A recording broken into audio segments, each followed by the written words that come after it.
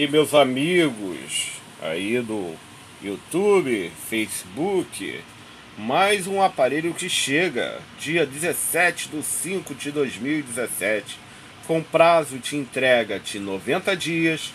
Então, esse deck veio pelo cliente Nel, ok? Nel, através do Milton. Muito obrigado, Newton, o nome dele. É o Niltinho, ok?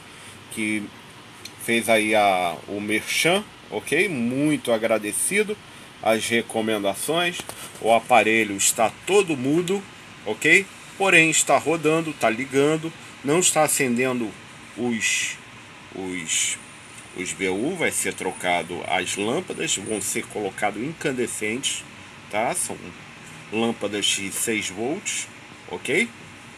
Então tá aqui o aparelho, já vai entrar aqui na estante e vai entrar aqui na fila aleatória, ok? Dentro desse prazo, eu tenho aí até agosto para entregar em funcionamento esse tape deck de fita, ok?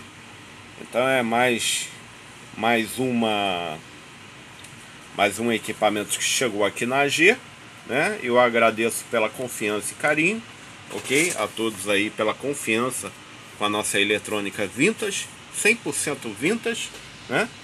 E consertando equipamentos aí de 40 anos atrás. Essas são as primeiras impressões iniciais, ok? Deste deck 4000 DP Akai. AG Info Eletrônica, do som vintage ao profissional, agradece a sua visualização. Muito obrigado.